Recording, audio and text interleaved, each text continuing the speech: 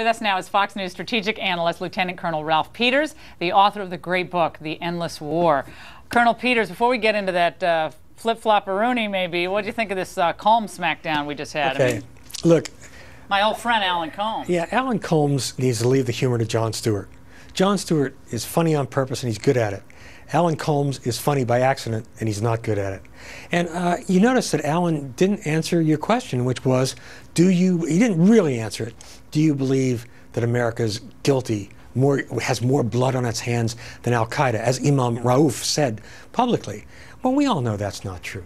We all know the crazy claim that Imam Rauf made about 500,000 Iraqi babies starved to death because of America. It's not true. If, if, if in a, na nation of 26 million like Iraq, 500,000 infants had starved to death, there'd be a missing generation.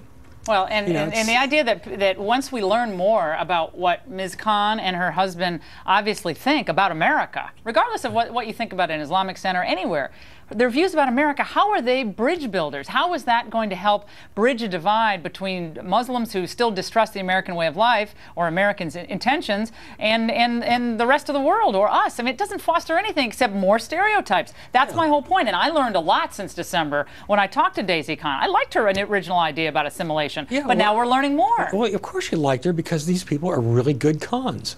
I mean, that's what Are you cons doing do. a, doing a, a play on words? That's unfortunate. No, wait, I, we can. Okay, but hey, I, you, you should do the Jon Stewart thing. Okay, fine. Okay, but seriously, uh, these people are playing the American liberal establishment elite for all it's worth. And if Imam Rauf got on TV tomorrow and said, I think America is evil and hateful and I hope it is destroyed, the New York Times would explain that, well, really, he didn't mean it that way. You have to take it in context. Well, the elites really are more afraid of, of conservative Christians, are they not, oftentimes, than they are afraid of anything Al Qaeda or jihadists are ever going to do to the country. I mean, we're really the bigger threat. Than, and, I, and so I think they don't really have problems when they hear stuff like that because they, a lot of them believe that America is just pr- pretty much a negative force in the world. Look, I think I think two things are happening right now with the mosque thing. First of all, you're seeing common sense average Americans, two thirds of Americans, saying we've had enough. Okay, we're tolerant of Islam. As Liz Cheney pointed out earlier, there's no country except Canada on earth That does more, more. tolerant of Muslims. Le- Muslims have more legal protections here, uh, more rights than anywhere else on earth.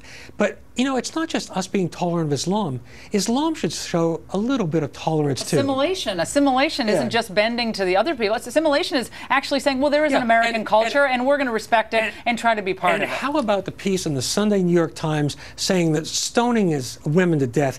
Well, it's bad, but it really doesn't happen that often, and you got to Oh, understand no, the cultural context. Where is the, where's Hollywood on the stoning? I mean, uh, other than uh, you know the Well, stoning of if- Soraya M. if that Steve McEveety did. I mean, there hasn't been anything done on that. if they were stoning graduates of Barnard, Columbia, well, they, UC they would Berkeley, if they could, but yeah. that's what they don't understand. Now, before we uh, let you go, this uh, this speech on Tuesday about Iraq. Uh, we only have about a minute left. The president now wants to take credit for accomplishments in Iraq. Is is that fair? I mean, to be fair and balanced here, should he be able to take credit? Maybe he's had his own evolution. Sure, I'm waiting for him to put on a uniform and tell us he led the troops in in 2003. Look, uh, Obama and Biden are taking credit now for all the things they tried to prevent from happening in Iraq.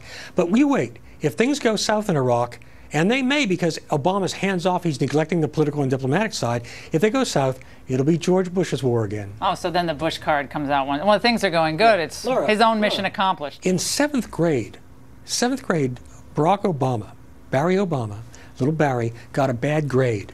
In seventh grade, he blamed George W. Bush. Oh. Jon Stewart. Colonel Peters, thanks. Great to see you. And